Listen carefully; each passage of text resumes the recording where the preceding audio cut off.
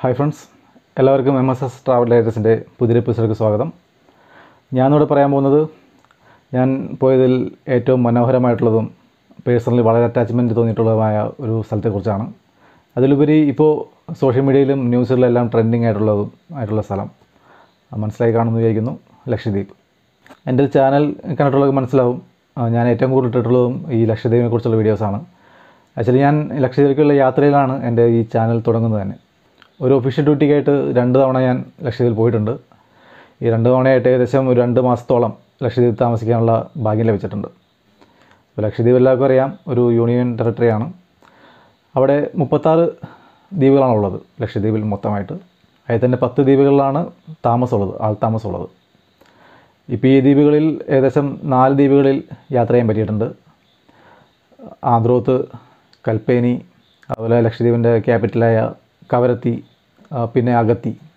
അഗത്തിയിലാണ് എയർപോർട്ടുള്ളത്. അതുപോലെ മറ്റൊരു ദ്വീപായ ബംഗാരത്തിലും പോകാൻ ചാൻസ് കിട്ടിയിട്ടുണ്ട്.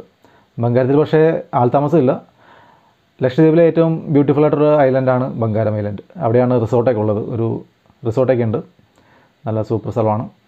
അപ്പോൾ ഈ സ്ഥലങ്ങളിലൊക്കെ പോയപ്പോൾ എനിക്ക് കിട്ടിയ ഒരു എക്സ്പീരിയൻസും അവിടെ കണ്ട കാഴ്ചകളും ഞാൻ കുറേ കാഴ്ചകളൊക്കെ ഞാൻ ഓൾറെഡി ഷെയർ ചെയ്തിട്ടുണ്ട്. പക്ഷേ എക്സ്പീരിയൻസ് ഞാൻ അധികം എന്റെ ചാനലിലൂടെ ഷെയർ ചെയ്തിട്ടില്ല. അപ്പോൾ ഇതൊരു റൈറ്റ് ടൈമാണെന്ന് തോന്നുന്നു. എനിക്ക് ഈ എക്സ്പീരിയൻസ് ഒക്കെ നിങ്ങളോട് ഷെയർ ചെയ്യാൻ വേണ്ടി. കാരണം ഇപ്പോൾ ലക്ഷദ്വീപ് വളരെയധികം ട്രെൻഡിങ് ആണ്. സോഷ്യൽ മീഡിയയിലും ന്യൂസിലെല്ലാം വളരെ ട്രെൻഡിങ് ആണ്. നിങ്ങൾക്കറിയാം നിങ്ങൾ ഇഷ്ടംപോലെ ന്യൂസുകൾ കേൾക്കുന്നുണ്ടാവും. ലക്ഷദ്വീപിൽ പിന്നെ കുറേ ഇഷ്യൂസ് നടക്കുന്നുണ്ട്. അപ്പോൾ എല്ലാ സ്ഥലങ്ങളിലും ക്യാമ്പയിൻസ് നടക്കുന്നുണ്ട്. കുറേ ആന്റി ക്യാമ്പയിൻസ് നടക്കുന്നുണ്ട്. അപ്പോൾ കുറേ വാദപ്രതിവാദങ്ങളൊക്കെ നടക്കുന്നുണ്ട്. അപ്പോൾ എന്തൊക്കെയാണ് ഇപ്പോഴത്തെ ഇഷ്യൂസ് ലക്ഷദ്വീപിന്റെ ഇഷ്യൂസ് എന്നുള്ളത് എന്റെ വ്യൂവേഴ്സിനോടൊന്ന് ഷെയർ ചെയ്യണം. കൂടെ എന്റെ എക്സ്പീരിയൻസും കൂടി. ഞാൻ കണ്ട കാര്യങ്ങളൊക്കെ നിങ്ങൾ കണ്ടിട്ടുണ്ടാവും ഓൾറെഡി അപ്പോൾ കൂടെ എന്റെ എക്സ്പീരിയൻസ് കൂടെ നിങ്ങളുടെ എത്തിക്കണം എന്നാണ് ഞാൻ ഈ വീഡിയോ കൊണ്ട് ഉദ്ദേശിക്കുന്നത്. രണ്ടായിരത്തി പത്തൊമ്പത് ഡിസംബർ സമയത്താണ് ഞാൻ ലക്ഷദ്വീപിൽ ആദ്യമായിട്ട് പോകുന്നത്. പിന്നീട് ഒരു തവണയും കൂടിയും പോയി. അത് ജനുവരിയിലാണ്. കൊറോണയ്ക്കൊക്കെ മുമ്പാണ് പോകുന്നത്. ലോക്ക്ഡൗണിനൊക്കെ മുമ്പാണ് പോകുന്നത്. അപ്പോൾ ആദ്യം പോകുന്ന സമയത്താണ് അവിടെ ഈ പൗരത്വ ബില്ലിനെതിരെയുള്ള ഇഷ്യൂസൊക്കെ നടക്കുന്നത് അന്നൊരു വമ്പൻ ജനക്കൂട്ടമായിരുന്നു അവിടെ ഉണ്ടായിരുന്നത്. അപ്പോൾ അതിന്റെ വീഡിയോസ് ഞാനിപ്പോൾ കാണിക്കുന്നുണ്ട് നിങ്ങൾക്ക്. അപ്പോൾ ഈ വീഡിയോസൊക്കെ നിങ്ങൾ ചിലപ്പോൾ പുറം ലോകം കണ്ടിട്ടുണ്ടാവില്ല. ലക്ഷദ്വീപ് നടക്കുന്ന കാര്യങ്ങളൊന്നും കൂടുതൽ ആൾക്കാർ ഇതിലേക്ക് എത്താറില്ല. കാരണം നമ്മുടെ മീഡിയസ് ഒന്നും അവിടെ അത്ര സ്ട്രോങ് അല്ല. അവിടെ കുറച്ച് ഓൺലൈൻ പോർട്ടൽസൊക്കെ അതുകൊണ്ട് തന്നെ അവിടെ നടക്കുന്ന കാര്യങ്ങൾ വലുതായിട്ട് നമ്മൾ അറിയാറില്ല. നമ്മൾ കൂടുതലും അറിയുന്നത് ഈ കാലാവസ്ഥ ഇഷ്യൂസൊക്കെ വരുമ്പോൾ അതിന്റെ ന്യൂസൊക്കെയാണ് കൂടുതൽ നമ്മൾ ലക്ഷദ്വീപിനെ കുറിച്ച് കേൾക്കാറ്. അല്ലാതെ അവിടെ നടക്കുന്ന ഇഷ്യൂസോ അതൊന്നും നമ്മൾ അധികം കാണാറില്ല. അപ്പോൾ അന്നത്തെ സമയത്ത് ഞാൻ അവിടെ ഉള്ളപ്പോൾ എടുത്ത വിഷ്വൽസാണ് നിങ്ങളിപ്പോൾ കണ്ടത്. അപ്പോൾ അന്ന് മനസ്സിലാക്കിയ ഒരു കാര്യം എന്ന് വെച്ചാൽ ലക്ഷദ്വീപിലേക്ക് തോന്നുന്നു ഏറ്റവും വലിയൊരു പ്രക്ഷോഭം നടന്നത് ഈ ഒരു പൗരത്വ ബില്ലിനെതിരെയാണെന്ന് തോന്നുന്നു. ഈ സി എ ആക്ടിനും ഇതിനൊക്കെതിരെയായിരുന്നു അന്നൊരു വലിയൊരു പ്രക്ഷോഭം നടന്നത്. അതിനുശേഷം ഇപ്പോഴാണ് വീണ്ടും കുറേ ഇഷ്യൂസ് അവിടെ ഉണ്ടായി വരുന്നത്. അപ്പോൾ എന്തൊക്കെയാണ് ഇഷ്യൂസ് എന്താണ് അവിടെ പ്രശ്നങ്ങൾ നടക്കുന്നത്? എന്നുള്ളത് നിങ്ങളോട് എത്തിക്കാം. നമുക്ക് വൺ ബൈ വൺ നോക്കാം. എന്തൊക്കെയാണ് അവിടെ ഇഷ്യൂസ് എന്നുള്ളതൊക്കെ നമുക്ക് നോക്കാം. അവിടെ പ്രധാനമായിട്ടും ഒരു ഇഷ്യൂ ഇപ്പോൾ വന്നിരിക്കുന്നത് പറഞ്ഞാൽ ഇപ്പോൾ ഒരു പുതിയ അഡ്മിനിസ്ട്രേറ്റർ വന്നു. പ്രഫുൽ പട്ടേൽ എന്നാണ് പുള്ളിയുടെ പേര്. അപ്പോൾ ആൾ ചാർജ് എടുത്തിട്ട് ആൾ കുറച്ച് റൂൾസ് ആൻഡ് റെഗുലേഷൻസ് അവിടെ കൊണ്ടുവന്നിരുന്നു. അപ്പോൾ അതിന് ശേഷമാണ് ഈ ഇഷ്യൂസൊക്കെ കൂടുതലായിട്ട് അവിടെ പൊങ്ങി തുടങ്ങിയിരുന്നത്. അപ്പോൾ ആൾ കൊണ്ടുവന്ന കുറച്ച് ചേഞ്ചസ് അതൊക്കെ എന്തൊക്കെയാണെന്ന് നോക്കാം. അതിലേറ്റവും കൂടുതൽ അവിടെ എഫക്റ്റ് ഉണ്ടാക്കിയ അല്ലെങ്കിൽ അവർ ഓപ്പോസ് ചെയ്യുന്നൊരു സംഭവം എന്ന് പറഞ്ഞാൽ prevention of anti social action regulation ഇതിനാണ് ഇപ്പോൾ എല്ലാവരും ഗുണ്ടാ നിയമം എന്ന് പറയുന്നത്. അപ്പോൾ അതിന്റെ ഒരു റൂൾ ഈ ഒരു ഈ ഒരു ആക്ട് നടപ്പാക്കുന്നതാണ് അവിടെ ഏറ്റവും കൂടുതൽ ഒപ്പോസ് വരുന്നത്. കാരണം ലക്ഷ്യം എന്ന് പറഞ്ഞാൽ സീറോ പെർസെന്റേജ് ക്രൈം റെക്കോർഡുള്ളൊരു സ്ഥലമാണ്. അപ്പോൾ അവിടെ എന്തിനാണ് ഒരു ഗുണ്ട ആക്ട് കൊണ്ടുവരുന്നത്? എന്നുള്ളതാണ് ഇപ്പോൾ അവർ ചോദിക്കുന്നത്. അതുപോലെ തന്നെ മറ്റൊരു സംഭവം എന്ന് പറഞ്ഞാൽ ലിക്കറിന്റെ ഒരു കൊണ്ടുവരൽ. ലക്ഷദ്വീപ് ഒരു ഡ്രൈ സ്റ്റേറ്റ് ആണ് എല്ലാവർക്കും അറിയാം അതൊരു ഡ്രൈ സ്റ്റേറ്റ് ആണ്. അപ്പോൾ അവിടെ ലിക്കർ ബാനാണ് അവിടെ ഉള്ളത് ഏകദേശം നയന്റി നയൻ പെർസെന്റേജും മുസ്ലിംസാണ് അപ്പോൾ അവർക്ക് നിഷിദ്ധമാണ് ലിക്കർ ബംഗാർ എന്നൊരു ദ്വീപ് ഞാൻ നേരത്തെ പറഞ്ഞായിരുന്നു. അവിടെ മാത്രമേ നമുക്ക് ലിക്കർ അവൈലബിൾ ഉള്ളൂ. അവിടെ ടൂറിസത്തിന്റെ ഭാഗമായിട്ട് അവിടെ നമുക്ക് ലിക്കർ കിട്ടും. അപ്പോൾ അതുപോലെ തന്നെ ബാക്കി ദ്വീപുകളിലേക്കും ടൂറിസത്തിന്റെ ഭാഗമായിട്ട് ലിക്കർ കൊണ്ടുവരാം എന്നൊരു ഇത് ചേഞ്ച് കൊണ്ടുവരാണ്. അപ്പോൾ അതിനെ ഭയങ്കരമായിട്ട് എതിർക്കുകയാണ് അവിടെയുള്ള ആളുകൾ. കാരണം അവരുടെ ഒരു സംസ്കാരത്തിന് എതിരാണ് ഈ ലിക്കർ കൊണ്ടുവരിക എന്നുള്ളത്. അതുകൊണ്ട് തന്നെ വളരെയധികം എതിർപ്പ് ഇതിനെ നേരിടേണ്ടി വരുന്നു. മറ്റൊരു പ്രധാന ഇഷ്യൂ എന്ന് പറയുന്നത് ഗോവധ നിരോധനം. അപ്പോൾ ഇന്ത്യയിലെ ബാക്കി സ്റ്റേറ്റുകളിലൊക്കെ ഓൾറെഡി കൊണ്ടുവന്നൊരു കാര്യമാണ് ഗോവധ നിരോധനം. അത് ലക്ഷദ്വീപിൽ അപ്ലൈ ചെയ്യാൻ നോക്കുന്നു. ലക്ഷദ്വീപിന്റെ ഒരു ഭൂപ്രകൃതി അനുസരിച്ച് അവിടെ കൃഷിയെല്ലാം വളരെ കുറവാണ്. അതുകൊണ്ട് തന്നെ അവർ കൂടുതലും മത്സ്യവും മീറ്റും എല്ലാം കഴിക്കുന്ന ആൾക്കാരാണ്. അപ്പോൾ അതുകൊണ്ട് തന്നെ ഗോവധ നിരോധനം അവിടെ അപ്ലൈ ചെയ്യാന്ന് പറഞ്ഞാൽ അവർക്ക് വളരെയധികം ബുദ്ധിമുട്ടുണ്ടാക്കുന്ന കാര്യമാണ്. അപ്പോൾ അതുപോലെ തന്നെ അവിടെ സ്കൂളുകളിൽ കുട്ടികളുള്ള ആഹാരത്തിന്റെ മെനുവിൽ നിന്ന് ഈ മീറ്റെല്ലാം ചേഞ്ച് ചെയ്തു. അപ്പോൾ അതും ഈ നീക്കിയതൊക്കെ ഭയങ്കര ഇഷ്യൂ ആയി മാറി. അതുപോലെ തന്നെ ഇപ്പോൾ കവരത്തിൽ പോകുകയാണെങ്കിൽ നിങ്ങൾക്ക് ധാരാളം ഗവൺമെന്റ് ഓഫീസ് കാണാൻ കാണാൻ പറ്റും. ധാരാളം സ്കൂളുകളുണ്ട്. എല്ലാ ദ്വീപുകളും പല പല സ്കൂളുകളുണ്ട്. ഇഷ്ടംപോലെ സ്കൂളുകളുണ്ട് അവിടെ. അവിടുത്തെ ലിറ്ററസി ഏകദേശം നയന്റി എയ്റ്റ് പെർസെന്റ് ആയി തോന്നുന്നു. അവിടെ ലക്ഷദ്വീപിൽ ടോട്ടൽ അപ്പോൾ അങ്ങനെയുള്ള സ്ഥലത്ത് ധാരാളം ടെമ്പററി ജീവനക്കാരുണ്ട്. സ്കൂളുകളിലും ഗവൺമെന്റ് ഓഫീസുകളിലും അവിടെ തദ്ദേശീയരായിട്ടുള്ള ആൾക്കാർ തന്നെയാണ്. അപ്പോൾ അങ്ങനെയുള്ള ആളുകളെ പിരിച്ചുവിട്ടു. ഏകദേശം അഞ്ഞൂറോളം പേരെ അവിടുന്ന് പിരിച്ചു വിട്ടു അപ്പോൾ അതും ഇപ്പോൾ ഇഷ്യൂകൾക്ക് ഒരു കാരണമായി. അതുപോലെ ഞാൻ നേരത്തെ പറഞ്ഞു ലക്ഷദ്വീപിൽ പത്ത് ദ്വീപുകളിലാണ് ആൾത്താമസമുള്ളത് ഇവിടെ ഈ എല്ലാ ദ്വീപിലും ഓരോ പഞ്ചായത്തുകളുണ്ട്. അതിൽ ഈ പഞ്ചായത്തുകളുടെ അധികാരങ്ങൾ കുറേ എടുത്തു കളഞ്ഞു. പകരം അഡ്മിനിസ്ട്രേറ്റർക്ക് ആ അധികാരങ്ങൾ കൊടുത്തു. അപ്പോൾ പഞ്ചായത്തുകളുടെ അധികാരം കുറച്ചതും അവിടുത്തെ ഒരു ഇഷ്യൂവിന് കാരണമാക്കി. പഞ്ചായത്ത് ഇലക്ഷന് വേണ്ടി മത്സരിക്കുന്നുണ്ടെങ്കിൽ രണ്ട് കുട്ടികളിൽ കൂടുതലുള്ളവർക്ക് എലിജിബിലിറ്റി ഇല്ല എന്നൊരു ക്രിറ്റീരിയ ഇവിടെ വെച്ചു. അതും വളരെയധികം എതിർപ്പിന് വഴിവെച്ചു. അവിടെ മറ്റൊരു എതിർപ്പ് വന്നത് റോഡുകൾക്ക് വീതി കൂടിനെ കുറിച്ചാണ്. അപ്പോൾ ലക്ഷദ്വീപിലും ഒരു ഒട്ടുമിക്ക സ്ഥലങ്ങളിലും റോഡുകൾക്ക് വളരെ വീതി കുറവാണ്. അവിടെ വണ്ടികളൊക്കെ വളരെ കുറവാണ്. കൂടുതലും ടൂ വീലേഴ്സാണ് ഇപ്പോൾ കവരത്തിയിൽ മാത്രമേ കാറുകളും അങ്ങനെയുള്ള വണ്ടികളൊക്കെ ഉള്ളൂ. ബാക്കി ദ്വീപുകളൊക്കെ വളരെ കുറവാണ്. എല്ലായിടത്തും തന്നെ ടാറിട്ട റോഡുകൾക്ക് വരാം എല്ലാം കോൺക്രീറ്റ് റോഡുകളാണ്. എന്റെ വീഡിയോകൾ കണ്ടിട്ടുണ്ടെങ്കിൽ നിങ്ങൾക്ക് അറിയാൻ പറ്റും. കൂടുതലും തന്നെ കോൺക്രീറ്റ് റോഡുകളാണ്. അപ്പോൾ ഇവരുടെ എല്ലാം വീതി കൂട്ടി ഏഴ് മീറ്റർ ആക്കാൻ വേണ്ടി ഒരു ഡിസിഷൻ എടുത്തു. അപ്പോൾ ഇങ്ങനെ എടുക്കുമ്പോൾ അവിടുത്തെ ആളുകളുടെ ലാൻഡ് കുറേയധികം നഷ്ടപ്പെടും. അപ്പോൾ അതും വളരെയധികം എതിർപ്പ് അവരുടെ സൈഡിൽ നിന്ന് ഉണ്ടായിട്ടുണ്ട്. അതുപോലെ മറ്റൊരു ഇഷ്യൂ ഇപ്പോൾ വളരെയധികം സോഷ്യൽ മീഡിയയിലൊക്കെ വരുന്നതെന്ന് പറഞ്ഞാൽ അവിടെയുള്ള ഡയറി ഫാം ഒരു ഡയറി ഫാം ഉണ്ടായിരുന്നു. അത് അടച്ചുപൂട്ടി. അപ്പോൾ ഡയറി ഫാം അടച്ചുപൂട്ടിയോടുകൂടി അവർക്ക് ലോക്കലായിട്ട് കിട്ടിയിരുന്ന പാൽ ഉൽപ്പന്നങ്ങളുടെ ഇതൊക്കെ സ്റ്റോപ്പായി പോയി ലക്ഷദ്വീപിലെ ആളുകൾ കൂടുതലും ആശ്രയിക്കുന്നത് മെയിൻലാൻഡിൽ നിന്ന് വരുന്ന പാലിനെയാണ്. അപ്പോൾ നമ്മുടെ നാട്ടിൽ കിട്ടുന്ന പോലെ പാക്കറ്റ് പാലല്ല. അവിടെ കൂടുതലും കിട്ടുന്ന അമൂലിന്റെയൊക്കെ ടെട്രാ പാക്ക് ഉണ്ട് അത് കുറച്ചാൾ നീണ്ടു നിൽക്കുന്ന ഒരു ഈട് നിൽക്കുന്ന പാലാണ് ഈ ടെട്രാ പാക്ക്. അപ്പോൾ അതാണ് അവർ യൂസ് ചെയ്യുന്നത് കൂടുതലായിട്ട്.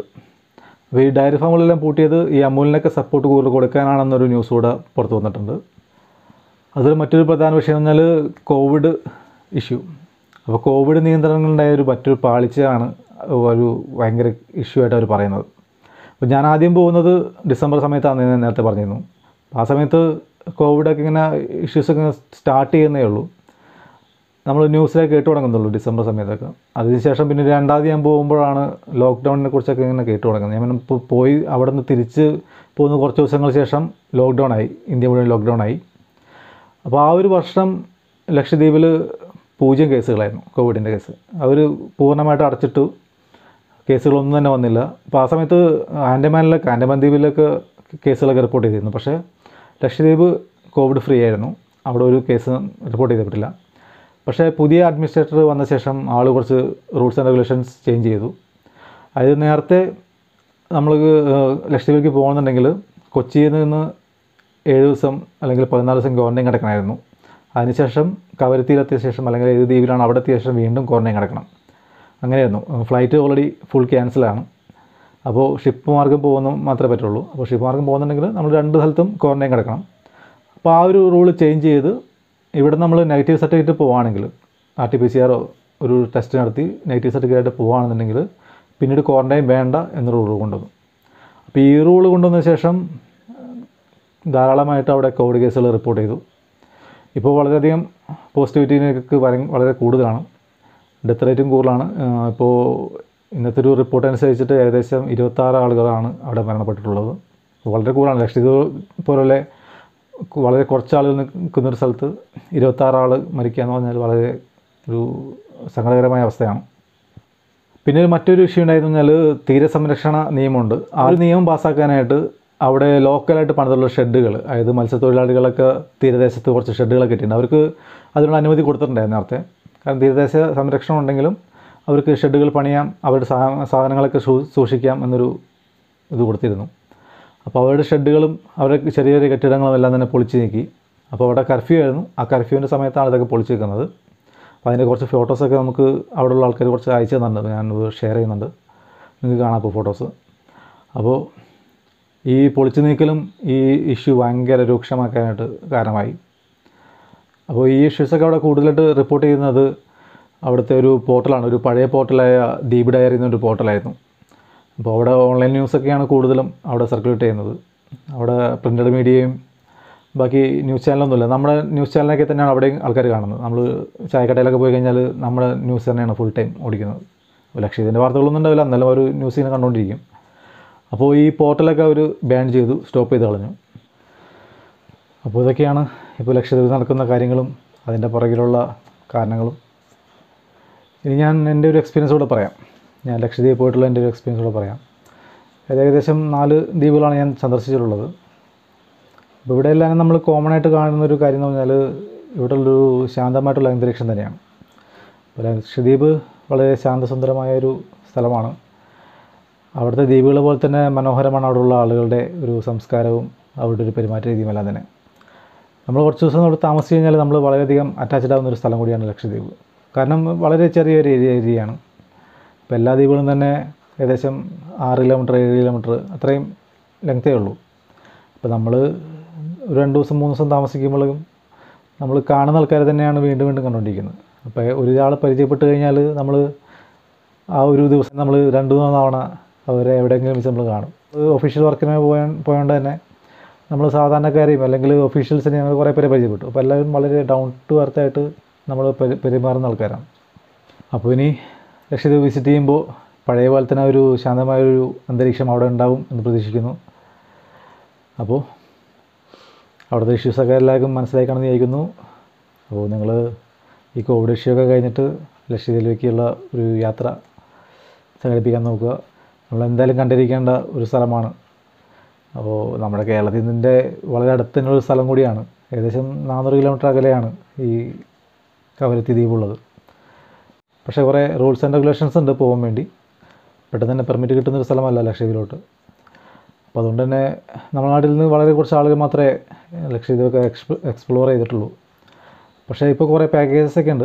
സമുദ്ര പോലെയുള്ള പാക്കേജസ് ഒക്കെ ഉണ്ട്. അപ്പോൾ നമുക്ക് വളരെ കുറഞ്ഞ റേറ്റിൽ നമുക്ക് പോയി വിസിറ്റ് ചെയ്തിട്ട് വരാൻ ഒരു സ്ഥലം കൂടിയാണ് ലക്ഷദ്വീപ്.